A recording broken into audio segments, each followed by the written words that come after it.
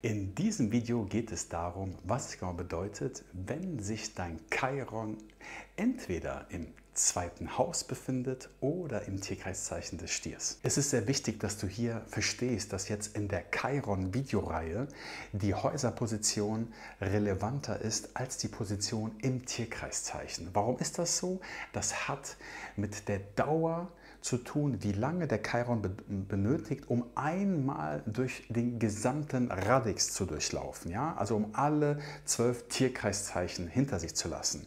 Und da benötigt der Chiron so in etwa 50,2 Jahre und ähm, hält sich immer so zwischen eineinhalb und acht Jahre in jedem Tierkreiszeichen auf. Allerdings in dem einen länger als in dem anderen. Und das hat damit zu tun, dass die Chiron-Umlaufbahn ellipsenartig ist. Ja? Das bedeutet nicht wirklich ähm, rund und äh, so kreisförmig, sondern eben ellipsenförmig förmig. Bedeutet das in manchen Tierkreiszeichen eben aufgrund dessen der Chiron länger sich aufhält als bei anderen. Okay, was hat es dann also jetzt auf sich, wenn sich dein Chiron im zweiten Haus oder im Tierkreiszeichen des Stiers befindet, aber dieses Video schon stärker darauf äh, geeicht ist, was es bedeutet, wenn sich dein Chiron im zweiten Haus befindet. Kurzes Warm-up zum Chiron. Was ist überhaupt der Chiron? Wofür steht der Chiron? Der Chiron steht quasi für deine Verletzung. Ja, wir alle haben in irgendeinem Bereich eine Verletzung und der Chiron zeigt dir diesen Bereich auf. Und weil jetzt hier in dieser Reihe die Häuserposition wichtiger ist, bedeutet das der Lebensbereich, ja, wo sich diese Verletzungen manifestieren, um Heilung zu erfahren. Ganz, ganz wichtig.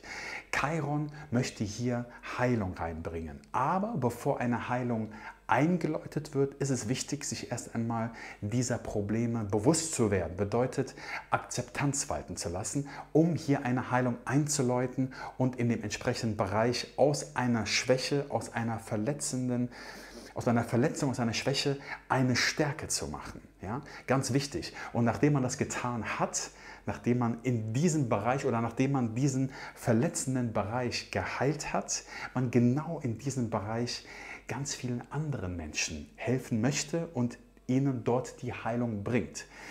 Was bedeutet es nun, wenn sich jetzt nun dein Chiron im Tierkreiszeichen des Stiers, aber viel wichtiger im zweiten Haus, also die Häuserposition befindet. Falls du aber im Allgemeinen nicht weißt, was es mit deinem Chiron auf sich hat, dann bitte und unbedingt mein Intro-Video zu dieser Chiron-Reihe anschauen. Das Video extra hier oben für dich verlinkt und dort nochmal ausführlich erklärt und beschrieben, was es genau mit deinem Chiron auf sich hat. Alright, trotzdem kurzes Warm-up zum Chiron. Wofür steht der Chiron? Der Chiron ist der verwundete Heiler und steht somit für deine Verletzungen, für deine Traumata, für deine Schattenthemen, für deine Blockaden. Aber im Großen und Ganzen deine Hauptverletzung. Wo liegt deine Hauptverletzung in deinem gesamten Horoskop? Du siehst, sehr, sehr wertvoll. Der Chiron, der bietet dir hier ziemlich starken Aufschluss darüber, wo deine Verletzung sich befindet. Die Chiron-Thematik hat sehr viel mit Heilung zu tun, mit Verletzung und damit, wie du andere heilen kannst, nachdem du dich selbst geheilt hast. Ja? Du siehst, im Grunde genommen ist aber der Chiron sehr stark eben für deine Verletzung verantwortlich. Da äh, trennen sich die Geister. Äh, die einen Astrologen sagen, dass der Chiron quasi dir die Verletzung aufzeigt, mit der du lernen musst zu leben und du niemals heilen wirst, aber andere in dieser Thematik heilst. Und dann gibt es das andere Lager, was meiner Meinung nach äh, viel, viel kleiner ist, was sagt, dass du hier Heilung erfahren kannst, du eine Art Heiler in diesem Bereich wirst und genau du dieses Wissen anwendest, um in diesen Bereichen andere heilen zu können. Und diese Meinung vertrete ich auch. Das ist aber nicht nur eine Meinung, sondern das sind eben auch Erfahrungen, die ich gemacht habe in all meinen Beratungen, in meinen eigenen Erfahrungen. Ich persönlich in meinem Leben bin ich der festen Meinung, dass es sein kann, ja, dass aber dein Gesamthoroskop dann eben das aufschlüsselt und sagt, dass eben dein Chiron eben hier nicht so wirklich geheilt werden kann. Es kann sein, dass es bei dem einen schwieriger zu heilen ist als bei dem anderen, aber grundsätzlich für jeden das Potenzial vorhanden ist. Für den einen ist es schwieriger als für den anderen, aber grundsätzlich wir alle das, die Möglichkeit haben, äh, wir eben in diesen entsprechenden Bereich Heilung zu erfahren. Da, wo wir verletzt sind und da ist die Akzeptanz unglaublich wichtig und deswegen ist auch diese Videoreihe auch so unglaublich wichtig, ja, schon quasi heilbringend, ja, weil es bringt nichts oder beziehungsweise Du wirst nicht Heilung erfahren, wenn du nicht erst diese Akzeptanz in diesem Lebensbereich oder bezogen auf deine Verletzung getätigt hast. Heilung ist hier unmöglich, wenn du nicht erst eine Akzeptanz walten lässt. Okay, was heißt es jetzt, wenn sich dein Chiron im zweiten Haus vergleichsweise im Tierkreiszeichen des Stiers befindet? Dafür sollten wir uns ähm, das zweite Haus anschauen. Wofür steht das zweite Haus überhaupt? Ich bin hier sehr empathisch mit dieser Position, weil mein Chiron sich im Tierkreiszeichen des Stiers befindet, aber nicht im zweiten Haus, sondern bei mir im zwölften Haus und sehr nah an meinem Mond. Und das ist eine etwas schwierigere Position, auf die ich gleich vielleicht mal kurz drauf eingehen werde. Aber im Großen und Ganzen ist das zweite Haus das Thema der Werte, der Sicherheit, der Finanzen, äh, des Urvertrauens ja? und auch des Körpers, der Materie, ja? der materiellen Welt, weil die Stierthematik sehr viel mit Körper zu tun hat. Bei Körper gleich Materie und Stier sehr der Materie zugewandt ist, okay? Und sehr körperlich ist. Und all diese Themen könnten jetzt verletzt sein. Bei dem einen Thema was mehr als bei dem anderen. Aber grundsätzlich ist es so auch total wichtig, bitte immer dein Gesamthoroskop abchecken. Ja? Dieses Video bitte nicht isoliert betrachten, weil dein Gesamthoroskop sehr, sehr wichtig ist. Wenn du jetzt hier noch tiefer einsteigen möchtest, wäre es zum Beispiel sinnvoll, jetzt zu checken, okay, wo befindet sich denn deine Venus? Weil Venus das zweite Haus regiert und das Tierkreiszeichen des Stiers. Wie wird die Venus aspektiert? Oder aspektiert vielleicht die Venus sehr wohlwollend dein Chiron? Oder ist der Chiron direkt auch an deiner Venus, also in einer Konjunktion? Ein harter Aspekt. Das ist dann natürlich nochmal ein doubler Impact. Ne? Das ist dann nochmal noch mal heftiger. Aber im Großen und Ganzen sind all die Themen, die ich gerade genannt habe, verletzt.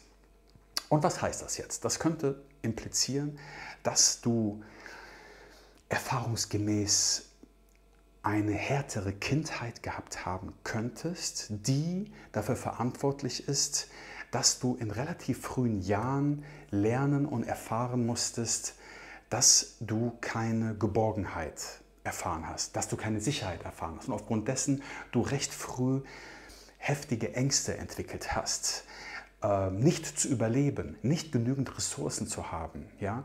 nicht die genügend Finanzen zu haben im Rücken. Oder niemand zu haben, der sich um einen kümmert, der sich um dich kümmert, okay? Der dir eine Sicherheit anbietet, dass du quasi hm, glaubst, dass das dass du nicht genug bist für das Leben, ja, und äh, dass du alles bei dir, also alles materielle, finanzielle, mh, hm, an dich reißen musst. Und das Leben hart ist und von allen Materiellen es zu wenig gibt und du irgendwie relativ früh gelernt hast, dass dir einfach Dinge fehlen und die können sich in den unterschiedlichsten äh, ähm, Themengebieten manifestieren oder in den Bereichen, wie zum Beispiel, es kann sein, dass du in deiner Kindheit irgendwie sehr viele materielle Dinge nicht gehabt haben, nicht gehabt hattest, wie zum Beispiel ein schickes Paar Schuhe, schöne Klamotten, äh, ein schickes Fahrrad, äh, gutes Essen, ne, ein sicheres, wohlbehütetes Zuhause. Das alles ist verletzt und nicht so vorhanden.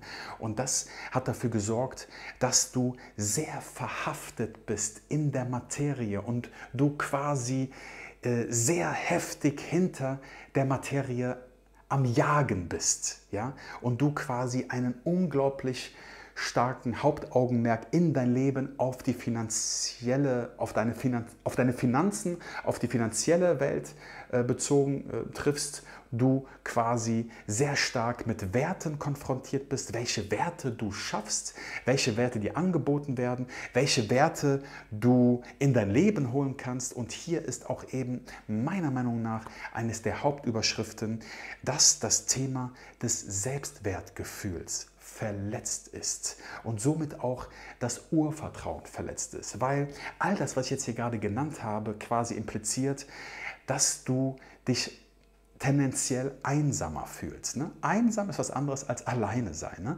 Alleine sein kann sehr angenehm sein. Einsam ist da nicht so nett. Ne? Weil einsam bedeutet oder impliziert Gott verlassen, ne? Schöpfungsverlassen. Wirklich ganz alleine, also ganz einsam, ne? nur auf dich selbst gestellt und ähm, du auch in jungen Jahren leider miterlebt hast, dass vielleicht deine Mutter nicht so ganz für dich da war oder vielleicht deine Familie dich nicht ganz beschützen konnte und du relativ schnell früh lernen musstest, selbst auf eigenen Beinen zu stehen und ähm, du selbst für deine Ressourcen verantwortlich warst. Ja? Und sogar vielleicht tatsächlich sogar mit dafür verantwortlich warst, um die Ressourcen deiner Familie mitzusichern, obwohl das gar nicht eine Aufgabe ist als, als Kind. Ne? Es, ist, es ist nicht die Aufgabe eines Kindes, für die Ressourcen der Familie verantwortlich zu sein, was leider in einigen Kulturkreisen der Fall ist und auch in eigenen Familien immer noch praktiziert wird, was meiner Meinung nach nicht in Ordnung ist. Mein Name ist Ryan Butlehner, ich bin Astrologe und möchte dir in diesem meinem YouTube-Kanal alles über die Astrologie beibringen und habe neuerdings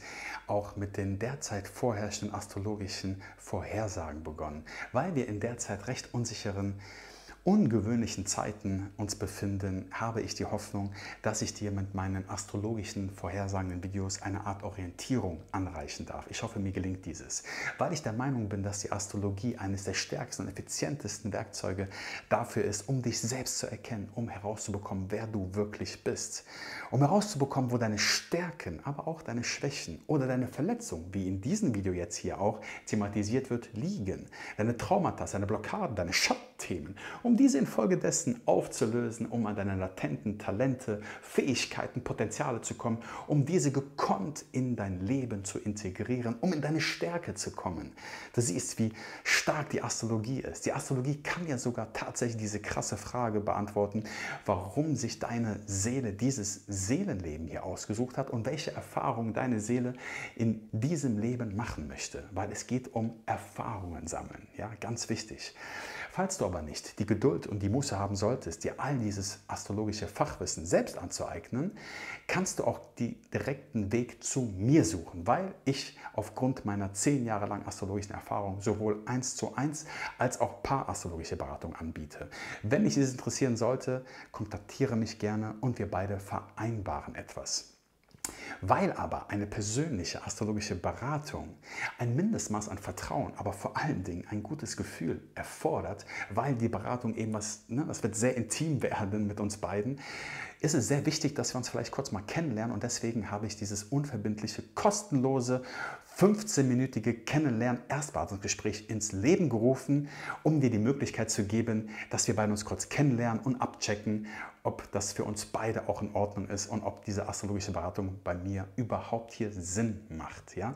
Ich habe extra hierfür ein Video verfasst, das Video extra hier oben für dich verlinkt und dort mal ausführlich erklärt und beschrieben, was es genau mit meiner Person auf sich hat, wo ich herkomme, warum ich ganz besonders gut bin in der beratenden Astrologie und worin hier der ganz große Mehrwert für dich liegt. Wenn dich das interessiert, check das gerne ab, geh gerne hier runter in die Videobeschreibung. Dort findest du meine Kontaktdaten, kontaktiere mich und wir beide vereinbaren was. Trotzdem würde ich gerne wissen, was du bis jetzt mit dem Chiron für praktische Erfahrungen gesammelt hast. Bitte teile deine praktischen Erfahrungen und dein Wissen mit unserer Community und hinterlasse uns gerne einen Kommentar. Wenn dir dieses Video gefallen sollte, würde ich mich über einen Daumen nach oben sehr freuen. Und wenn du ein Teil unserer astrologischen Community werden willst, bist du herzlich willkommen. Abonniere gerne meinen Kanal, indem du die Glocke so aktivierst, indem du informiert wirst, sobald ich hier wieder ein neues Video hochgeladen habe. Alright, Chiron im zweiten Haus, ähnlich wie Chiron im Stier. Was hat das genau damit auf sich? Also all die Themen, die das zweite Haus für das das zweite Haus steht, sind hier verletzt. Und das sind die Themen Sicherheit und Werte, Finanzen, Urvertrauen, Körper, Materie. Das sind alles Dinge, die verletzt sind. Und das könnte in etwa so aussehen, wie ich dir eingangs schon erklärt habe, dass das Thema sich nicht genug zu fühlen für die Welt vorherrscht. Dass du den Eindruck relativ früh gewonnen hast, dass dein Selbstwertgefühl einfach stärker untergraben ist und du quasi hm, hier verletzt bist und du immer das Gefühl hast, äh, dass äh, du nicht wertvoll genug bist und du aufgrund dessen immer so eine Art Mangelerscheinungen in den vorhin benannten Themengebieten erfährst. Ja? Vor allen Dingen in den, in, im, im Laufe deines Lebens, äh, je älter du wirst, vor allen Dingen im Bereich der Finanzen, könnte es hier Probleme geben. Ich weiß ob du schon mal was davon gehört hast, aber die Rede ist davon, dass wenn du finanziell erfolgreich sein willst, dann sollte Geld fließen und nicht gehortet werden. Ja, da ist was dran. Da ist tatsächlich was dran. Weil wenn du Geld ausgibst, natürlich nicht fahrlässig, ne, sollte intelligent ausgegeben werden, aber so ausgibst, dass Geld fließt, kommt es zu dir zurück. Wenn du aber Geld hortest, dann sendest du ins Universum Mangel, dass du nicht genug hast, du verhaftet bist und du quasi auch mit einer Art Ängstlichkeit verhaftet bist. Okay? Ich habe hier einen sehr, sehr mh, mm, persönlichen Bezug zu dieser Position, weil, wie gesagt, mein Chiron befindet sich im Tierkreiszeichen des Stiers, was, wie gesagt, ähnelt der Position im zweiten Haus, aber bei mir befindet sich der Chiron im zwölften Haus. Und jetzt schau her, ähm, erzähle ich ein bisschen was aus dem Nähkästchen, aus meinem privaten Nähkästchen. Ist es so, dass quasi, hm, jetzt stell dir folgendes vor, mein Chiron befindet sich jetzt in Stier im zwölften Haus und jetzt ist sehr nah der Mond an meinem Chiron. Der Mond steht für die Mutter und tatsächlich ist das so gewesen in meinem Leben. Das heißt, der Mond ist jetzt hier verletzt. Das ist eine sehr brutale, schon etwas heftigere Stellung. Man sagt auch zu dieser Position, das ist die Stellung des alleingelassenen Kindes. Das ist unglaublich. Als ich damals mit der Astrologie begonnen habe und ich mir das und ich das gelesen habe, habe ich eine Gänsehaut bekommen. Ich kriege auch jetzt gerade wieder Gänsehaut, weil das so unglaublich zutrifft irgendwie, wo ich sage, ey, wie geht das? Wie kann es sein, dass die Astrologie meine Vergangenheit erklärt?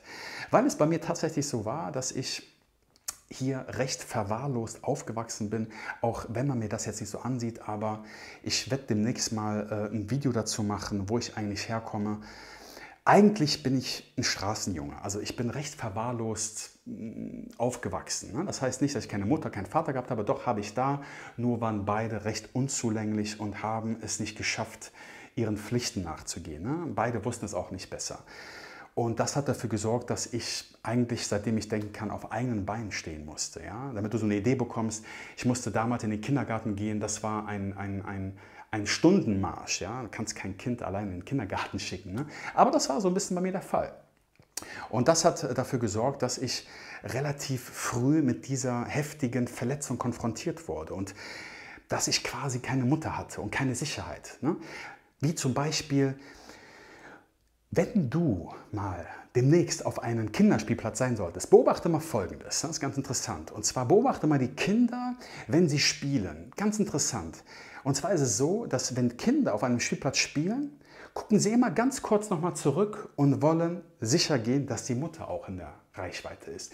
Wenn sie aber die Mutter nicht sehen, fangen sie an, hysterisch loszuschreien. Und das hat einen Grund, weil der Schutz nicht mehr da ist. Die Mutter schützt ja jetzt das Kind. Ne? Und das Kind weiß das auch und fühlt sich sehr geborgen bei der Mutter.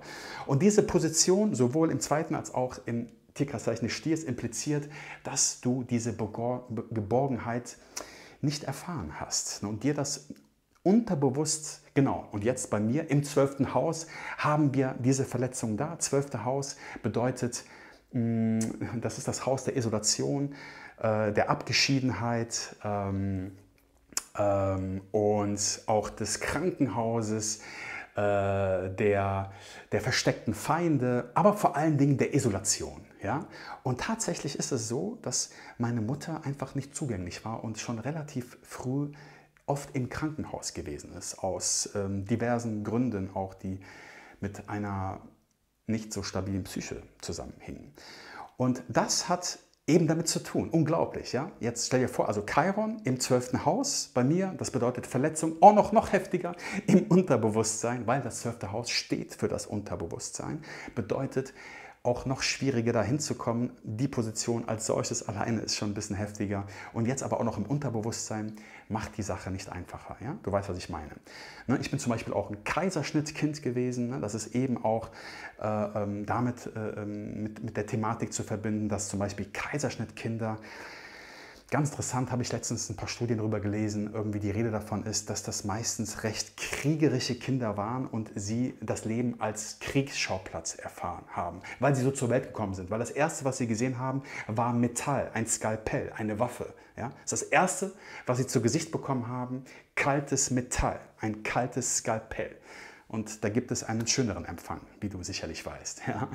Und das sorgt dafür, dass man eine recht kriegerische Lebensbetrachtungsweise aufgebaut hat und man der Meinung ist auf unterbewusster Ebene, dass man nie genug ist, dass es auch nie genug gibt und dass man immer kämpfen muss und dass ähm, man nie wirklich genug Ressourcen finanzieller Natur zum Beispiel hat. Oder, was auch ganz interessant ist, es hat mit dem Körper zu tun. Ja? Dass es auch bedeuten kann, dass du an deiner körperlichen Front Baustellen hast, wie zum Beispiel ich.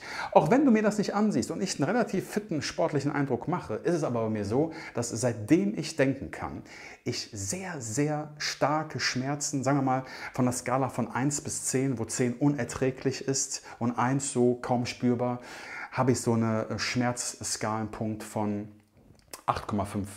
Ja, 8,5. Das ist schon starker Schmerz. Ja? Und äh, körperlich, was meine ich mit körperlich? Muskeln, Knochen, Gelenke. Okay? Und das Krasse ist, kein einziger Arzt bis heute konnte mir eine vernünftige Diagnose stellen und sagen, ja, okay, das liegt daran, hieran, hieran, das liegt an ihrer Ernährung oder an einem Bewegungsmangel oder man kann ja irgendwie eine erstmal verstehen überhaupt, worum es geht. Aber jeder Arzt, ausnahmslos, sagte mir, Sie haben nichts, alles in Ordnung. Sie sehen auch stark aus, Sie sind auch stark. Ruhen Sie sich mal aus, erholen Sie sich mal und dann wird das schon wieder. War aber nicht so. Ne? Also bei mir, jetzt habe ich für mich Lösungen gefunden, aber ich musste eigeninitiativ werden und selbst meine Lösung mir heranarbeiten. Und das Gleiche empfehle ich auch dir, ja? weil du mit dieser Position, du einfach das große Potenzial hast, eben die Meisterschaft hier zu erreichen. Diese Verletzungen zu akzeptieren, um die Heilung einzuläuten und um eben da sehr, sehr stark zu werden. Das Interessante bei dieser Position ist, dass die Hauptüberschrift von dieser Position ist, ein verletztes Selbstwertgefühl zu haben. Selbstwertgefühl ist eines meiner Lieblingswörter. Nicht ohne Grund, weil es eines meiner Hauptthemen ist. Und ich der Meinung bin, dass es in der ganzen spirituellen Branche doch eigentlich letzten Endes doch immer um das Selbstwertgefühl gibt. Bedeutet, wenn du ein starkes und solides Selbstwertgefühl, ne, es endet ein Gefühl, hast, ziehst du all die schönen Dinge in dein Leben und verstehst, dass du eigentlich von nichts und niemandem abhängig bist, dass du eigentlich auch keine Mutter, kein Vater, oder irgendjemanden brauchst, sondern einfach nur für dich den Glauben, ein Urvertrauen wirklich auf gefühlter Ebene entwickeln lernst und du die Meisterschaft erreichst, wie man das Thema des Geldes managt, die Finanzen, deinen Körper, deine Gesundheit, im Allgemeinen deine Ressourcen und infolgedessen andere darin berätst. Und tatsächlich ist es genau das, was ich nämlich hier tue in meinen Beratungen. Mein Hauptaugenmerk in meinen Beratungen liegt nämlich darauf, wirklich tatsächlich das Ziel zu verfolgen, bei meinen Klientinnen und Klienten, das Gefühl des Selbstwertes zu generieren, zu konditionieren, zu entwickeln, aufzubauen, zu trainieren. Ja? Weil letzten Endes meiner Meinung nach das der größte Erfolgsindikator dafür ist, Fülle, Erfolg und Reichtum in dein Leben zu ziehen. Und tatsächlich kann ich hier aus der Praxis reden und ich bin der Meinung, dass ich das glaube ich, so gelöst habe. Ja, nicht 100 Prozent, aber ich denke, dass ich auf einem verdammt guten Weg bin und äh, ich bis jetzt auch sehr, sehr viele Erfolge darin gehabt habe, andere da heilen zu dürfen oder andere dabei zu helfen, in die Selbstheilung zu gehen. Ja? Genau was diese Thematik angeht. Was ebenfalls äh, wahrscheinlich der Fall gewesen ist bei dir mit Chiron im zweiten oder eben im Stier, ist, dass du ähm, einfach oft Probleme hattest, schon in jungen Jahren, qualitativ hochwertige Sachen geschenkt zu bekommen von deiner Familie. Ja? Dass du einfach vielleicht äh, ähm, du das Gefühl hast, andere haben mehr als du selbst äh, andere kriegen mehr Taschengeld oder kriegen überhaupt ein Taschengeld und vielleicht kriegst du gar kein Taschengeld. Ähm, oder die anderen haben jetzt vielleicht irgendwie Markenschuhe und du hast irgendwie die billigsten Schuhe überhaupt, die schon dein älterer Bruder getragen hat, wie zum Beispiel bei mir, äh, wo vielleicht die Schuhe etwas zu groß waren ne? oder du schon in sehr frühen Jahren sehr stark mit Armut konfrontiert wurdest. Ne? Und auch da kann ich wieder meine praktischen Erfahrungen mit einbringen, weil das bei mir tatsächlich der Fall war.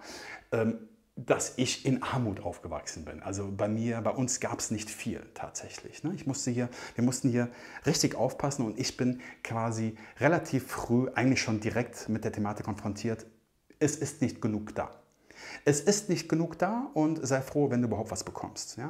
Und du siehst, das ist nicht so wirklich schön, ne? dass wenn man ein Zuhause hat, was eigentlich gar kein Zuhause ist und du aufgrund dessen mit echt schmerzhaften negativen Themen konfrontiert wirst zu Hause, was dich dazu veranlasst, vielleicht dann nicht so viel zu Hause abzuhängen und dann, wie in meinem Fall, äh, zu viel Zeit auf der Straße zu verbringen mit nicht sehr... Ähm, äh, mit nicht sehr, wie sagt man dazu, lieben Menschen. Ja, das war alles etwas asozialer, kann man sagen. Ja? Auch wenn du das nicht weißt oder glaubst, aber wir leben in Deutschland schon sehr lange in einer Parallelgesellschaft. Es gibt hier Dinge, die nennt man Ghettos, ne? auch wenn du noch nie davon gehört hast, aber es gibt hier Randgebiete, es gibt hier gewisse Parallelgesellschaften und diese Menschen in dieser Parallelgesellschaft geht es nicht so gut und deswegen entstehen auch heutzutage diese Reibungen, ne? diese politischen Reibungen ähm, unter den Schichten, ne? arm, Mittelschicht, reich und so ne? und so langsam wird ja die Mittelschicht auch so meiner Meinung nach also mehr wird die Mittelschicht jetzt nicht. Ich bin der Meinung, die Mittelschicht baut eher ab und das ist kein guter Trend. Aber nochmal zurück auf die Thematik, äh, dass du eigentlich gewohnt warst, dass du eben nicht all diese schönen Dinge in deiner Kindheit bekommen hast, ein gutes Fahrrad oder so.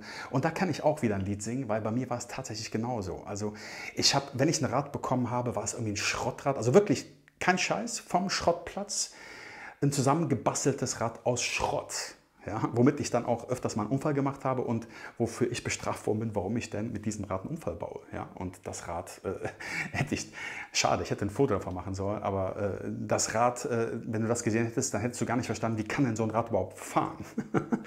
tatsächlich. Und ähm, bei mir war es auch so, dass tatsächlich ich irgendwie so klamottentechnisch irgendwie das Billigste vom Billigen gehabt habe und ich mich wirklich geschämt habe, in die Schule zu gehen und das dazu geführt hat, dass ich sehr, sehr früh schon sehr viel Wert darauf gelegt habe oder mir gesagt habe, dass ich das in meinem Leben ändern werde, dass ich das irgendwann selbst in die Hand nehmen werde. Ich möchte nicht mehr finanziell von irgendjemand abhängig sein und möchte selbst mir all das leisten, was ich gerne haben möchte. Und war aber längere Zeit auch in so einer Art Opferrolle, nach dem Motto, ich habe mich selbst Mitleid, oh je, du armer Junge, ne? so, aber das bringt ja auch nichts, ne, sich da selbst zu übermitteln. Im Gegenteil, du verschlimmerst das ja nur. Ne, es ist halt eben so, wie es ist und das Beste. Man sollte das Beste daraus machen. Und je schneller du das verstehst und akzeptierst und jetzt zum Beispiel auf meinen Fall bezogen und ich zurückblicke, bin ich sehr dankbar dafür, dass meine Kindheit doch recht hart war und ich ähm, schon sehr früh dazu gezwungen worden bin, selbstständig zu sein, eigeninitiativ zu sein, ohne Mutter und Vater quasi schon in recht jungen Jahren auf eigenen Beinen zu stehen. Da sind aber leider noch andere Dinge passiert, die na, mal so gerade gut gegangen sind, die aber hätten in eine ganz andere, brutale, irreparable, unschöne Richtung hätten sich entwickeln können. Ja? Deswegen mh, mm, besser äh, äh, äh, es nicht drauf ankommen lassen. Ne? Also das ist jetzt auch sehr stark an die Eltern gerichtet, ja, dass man, wenn man ein Kind in die Welt setzt, auf jeden Fall sehr stark äh, gewillt sein sollte, dem Kind die Sicherheit zu geben, ja, und dass eigentlich Eltern dem Kind was schuldig sind und nicht umgedreht. Ganz, ganz wichtiges Thema. Du bist deinen Eltern gar nicht schuldig. Wenn überhaupt, meiner Meinung nach, sind deine Eltern es dir schuldig. Das Problem ist nur, dass heutzutage die meisten Eltern glauben, ich habe dir das Leben geschenkt, aber das ist doch Humbug. Also du schenkst doch keinem Kind das Leben. Du bist doch Werkzeug, durch das die Schöpfung arbeitet und die Schöpfung schenkt durch dich dem Kind das Leben. Aber du bist nicht der Mensch, der dem Kind das Leben schenkt. Jeder Mensch kann ein Kind in die Welt bringen, aber ein Kind erziehen, das steht auf einem anderen Blatt und können meiner Meinung nach leider auch nur die wenigsten. Was ebenfalls passieren kann aufgrund dessen ist, dass du quasi sehr fixiert und verhaftet bist, dass du glaubst, oh je, ich, ich brauche das, ich, ich muss das, ich brauche Finanzen, ich brauche die Materie, ich brauche Sicherheit und du so verkrampft festhältst und fixiert bist, dass du Dinge hortest, sammelst für den Fall der Fälle, ja, und du quasi all diese Energien ins Universum raussendest und das ist die Energie des Mangels. Und die Energie des Mangels ins Universum raussenden sorgt für noch mehr Mangel, okay? Das heißt, diese Fixiertheit, diese unglaubliche Stierfixiertheit, ähm, was dazu führt, dass eben diese Werte nicht fließen in Form von Geld und somit noch mehr Geld generiert. Wenn du fixiert bist und du Dinge hortest, wird es ja nicht mehr. Ja? Und äh, das ist ganz wichtig, dass du für dich das verstehst, dass du lernst die Welt der Finanzen. Geld muss fließen, dass man loslässt, dass man die Angst ablegt, dass man für sich versteht, es gibt eine Macht, die ist höher, höher als dein Leben, höher als das Leben deiner Mutter, deines Vaters, okay? Und auf diese Kraft kannst du vertrauen. Und man nennt das Urvertrauen. Dass du die Geborgenheit darüber entwickelst. Das ist nicht einfach, ja, das gebe ich zu. Das ist schwierig, aber absolut lohnenswert, diese Strategien und Methoden zu entwickeln, um sich zu heilen und um vor allen Dingen unabhängig zu werden, finanziell unabhängig, um einfach die Meisterschaft der finanziellen Werte zu meistern, aber vor allen Dingen dein Selbstwertgefühl zu meistern. Weil wenn du ein starkes Selbstwertgefühl generiert hast, wirst du all die Fülle, Reichtum und Erfolg in dein Leben ziehen. Also bedeutet das im Großen und Ganzen, aufgrund dieser Fixiertheit ist es sehr wichtig für dich, das zu akzeptieren und das Ziel zu verfolgen, auszuatmen, entspannen, loszulassen. Ich habe zum Beispiel jetzt darüber auch meine körperlichen Probleme regeln dürfen, weil ich jetzt da verstanden habe, aufgrund meiner sehr problematischen Geburt, Kaiserschnittkind, dann eben noch die sehr problematische, recht gefährliche Kindheit, die ich da durchlaufen bin und überlebt habe, ähm, ich quasi eben weil, wenn du dich erinnerst, mein Chiron im zwölften Haus, Haus des Unterbewusstseins, das heißt die Angst, ist in meinem Unterbewusstsein. Und dieses, diese unterbewusste Angst sorgt eben auch für eine unterbewusste permanente Anspannung, welche dafür gesorgt hat, dass ich krampfhaft, angespannt immer versuche, irgendwie Sicherheit zu generieren. Okay?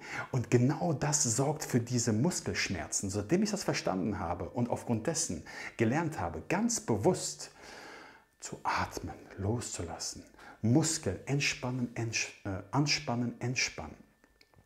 Bin ich lockerer geworden. Auf einmal die Schmerzen gehen weg. Es gibt noch so ein paar andere Hilfsmittelchen, die ich jetzt noch mit zugezogen habe, die echt Wunder bewirken. Aber es ist doch unglaublich, dass kein einziger Arzt mir eine Diagnose geben konnte dahingehend, dass irgendwas in mir körperlich nicht stimmt. Und die Ärzte mich auch teilweise ausgelacht haben, als sie mich gesehen haben, weil die sagen immer, du siehst topfit aus, du siehst ja aus wie eher so ein Athlet. Und wie kann es sein, dass du so viel Schmerzen hast? Schon immer gehabt. Irgendwie scheint das was anderes zu sein. Wir können dir nicht weiterhelfen. Ja, lassen Sie ein bisschen Zeit vergehen und das wird wahrscheinlich sich selbst klären. Und dem war halt nicht so. Ne? Das heißt, ich konnte jetzt auch darüber quasi meine Probleme, also meine körperlichen Probleme, weil, wie ich dir gesagt habe, das zweite Haus hat mit der Materie zu tun und der Körper steht für die Materie, ja? für die vergängliche, verletzbare Materie.